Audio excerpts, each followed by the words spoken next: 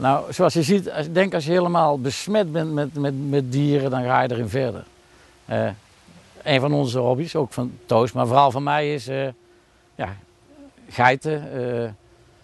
het mooiste vind ik dan nog eigenlijk de, de, de oude rassen terug proberen te fokken. Hier hebben we dus die bruine en hier de zwart-witte. Dat zijn Nederlandse landgeiten. We hebben een tijdje heel, ja, er waren er niet zoveel meer van, dus proberen terug te fokken naar het oude ras.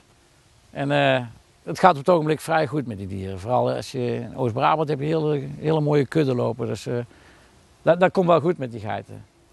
Het zijn, heel, ja, het zijn ook hele prachtige beesten. We hebben nog een paar andere geiten, want daarachter ligt dan nog een Torgenburger. Dat is een, eh, komen ook uit Nederland, kunnen ook uit, eh, Zwitserland heeft ze ook trouwens. Ook een hele lieve geit. Gaat er trouwens bijna net zo slecht mee als met de landgeiten. Want dan moeten we onderhand die Torgenburger terug gaan fokken. Omdat heel veel mensen, we krijgen ook niet zoveel mensen meer die, die, die van dieren of, of van, eh, als hobby geiten houden. Dus een ras dat we in de gaten moeten houden. Moet, moet oppassen dat die, dat die eh, er niet dezelfde kant op gaat als de landgeit. En dan hebben we hiervoor nog een, dat is, ja, dat is, vind ik gewoon een heel lieve dier. Dat is een, eh, een boerenbokgeit, komt uit Afrika. Met zijn grote flaporen. Die flaporen dat is eigenlijk ook een beetje gefokt om eh, in, in de zandwoestijnen de zand eh, niet in de oren te laten waaien. Als je bijvoorbeeld die, die van ons erin zou doen, dan zouden die oren vol waaien met zand.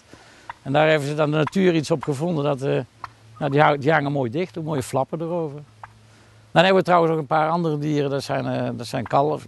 Een koeienrassen vind ik ook prachtig. Dus. Hebben een, ik heb een tijdje allemaal Schotse hooglanders gehad. Die beesten, dat, ja, die werden al 16, 17 jaar. Daar zijn we mee gestopt. Dus ze hebben een heel mooi leven gehad bij ons. Maar ik dacht van, ja, het bleef toch kriebelen. Dus ik heb twee kalfjes gekocht. Een, een rode chronische blaarkop en een, ja, een witterig. Dus eh, ja, daar ben ik eigenlijk heel vereerd mee dat ik die nou twee heb lopen hier zo. eh, samen met de Toos. Ah, en ook de kinderen natuurlijk, die vinden het ook wel prachtig hier zo. Dus ik vind oude rassen terugfokken, nou, vind ik wel heel, eh, ja, nodig. Misschien niet, maar wel, ja, wel, wel nuttig is het in ieder geval wel zeker. Misschien zijn er ooit nog genen die we moeten gaan gebruiken voor onze oude rassen weer. Of de moderne rassen wat op te cultiveren of te veranderen.